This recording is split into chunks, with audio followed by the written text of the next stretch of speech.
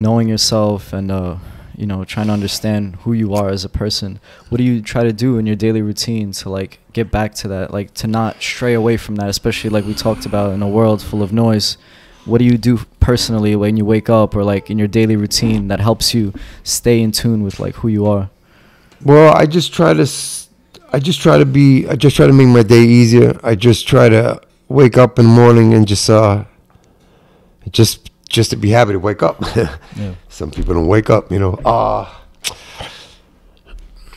man, I, I don't know. I just try to, I just, I just don't, I just don't, I'm tired of the bullshit, bro. I, I went through so much as a kid. It's just, I just, I don't need it. Unnecessary stress. Uh, I just, and I'm only human because I get caught up there. My son will tell you because I go a whole day really, really positive, and I, I can really lose it quick. You know, because I like my I like my peace, you know, and if you interfere my peace, I can really, I can go overboard. But I gotta also I'm working on that.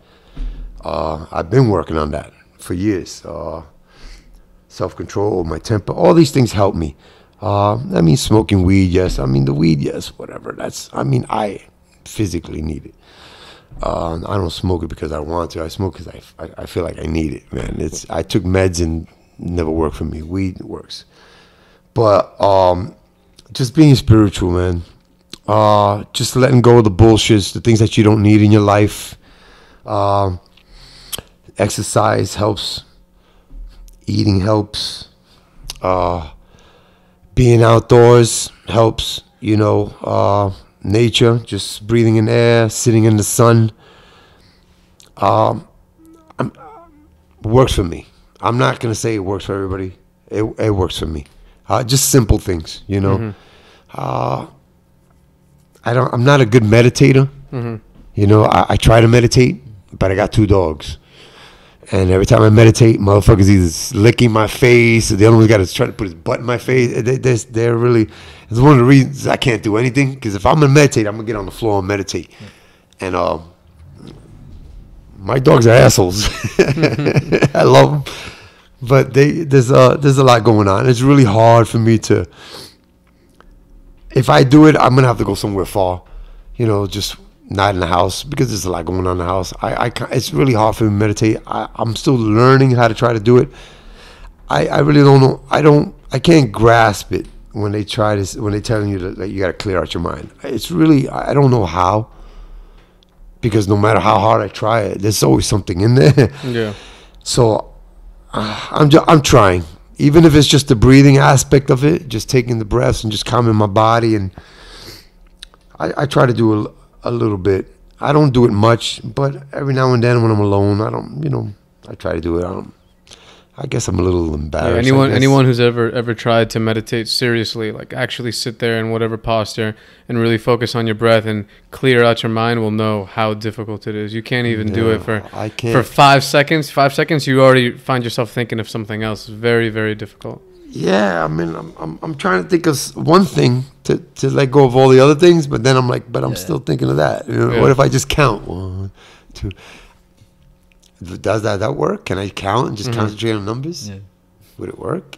When did you start trying or like thinking of these things? Because you know, like you're known as the one of the vo- like the the vocalist of Merauder. People don't think of like you meditating. People don't think of you like you know what I mean, doing these things. When yeah, did this I'm not a up? big meditator, but I've I've tried it. Yeah, yeah. It's just a, uh,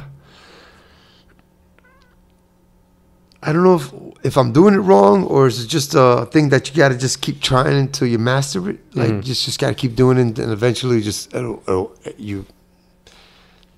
I don't know. I guess you go into a trance if you concentrate hard enough. You put go into a trance. Mhm.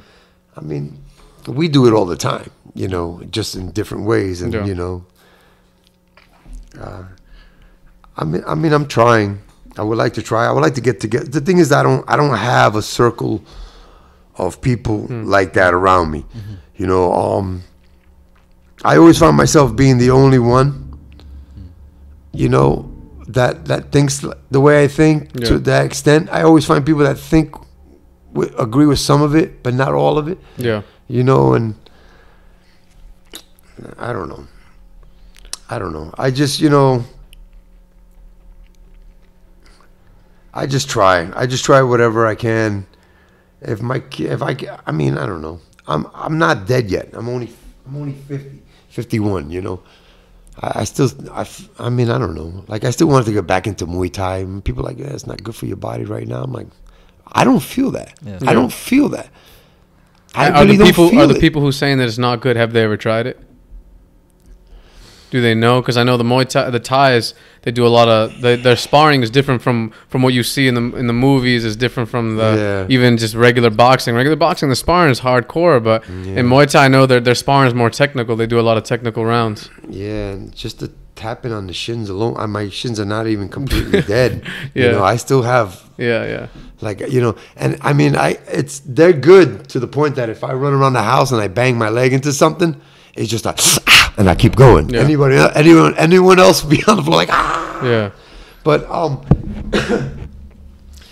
I I don't know, bro. Um,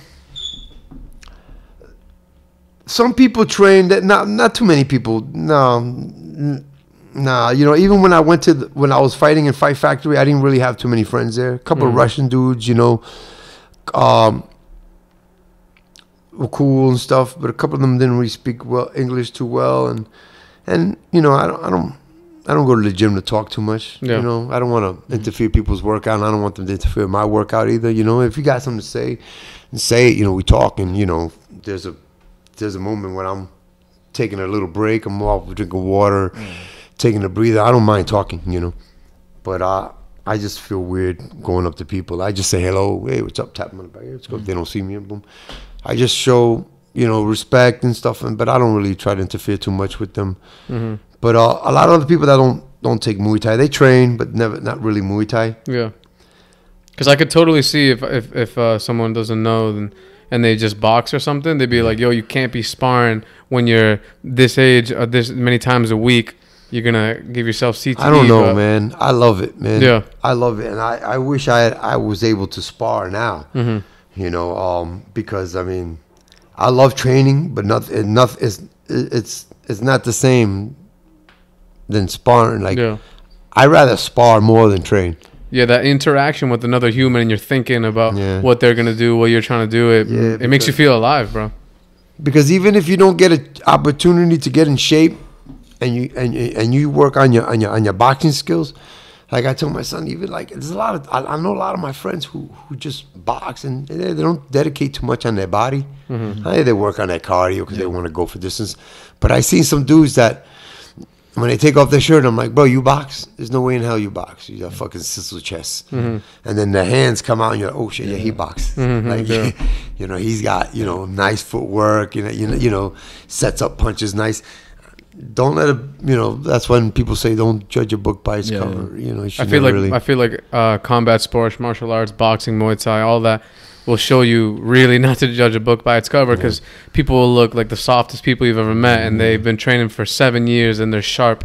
And then there's someone who looks scary, comes in their first day and they don't know anything. They get hit, they start turning away and they don't know what they're doing. had a kid like that. Charlie, little Puerto Rican kid. he was in- He had, for some reason, he looked like he had blush. His cheeks were always red, Yeah. Mm-hmm. and he always smiling. Like, like a little little smile was always in there with his dad, and he looked like a nice little innocent kid.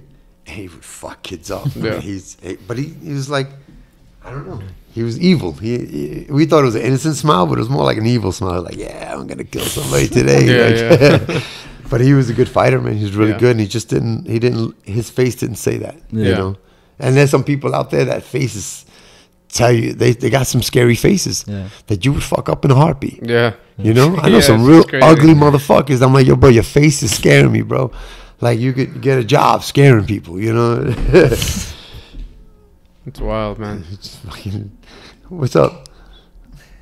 All right, I thought, he was, I thought he was trying to tell me something. Now we were talking about this a while ago. We were working out actually in Coney Island Beach. You know those bars on the on the sand over there, Yeah, calisthenics bars, and um a bunch of people would come up. It was like five in the morning, and uh You do bars? You do the the. like calisthenics. Yeah, yeah. I try to like work That's out. what I, that's what I want to get into. And those are you good. know- yeah, body weight. You can't go wrong, man. That's like Yeah, it's the I, when I do my dips, I try to uh, Take the legs. Oh, go parallel. parallel. Yeah. And I get, I get, bro, and, and it's all here in the wrist. Yeah, man. yeah, yeah. And I get to it, like I'm like, oh shit, you know. And But you gotta just stay with it. I gotta stay with it, It's bro. about I a got- con- but I don't have that motivation. Mhm. It's um, I have um, a lot going on. You know, I have a club.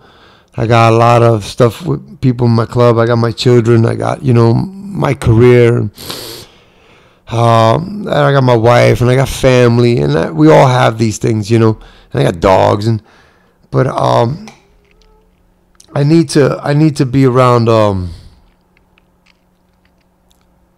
more people that that are doing that. Yeah.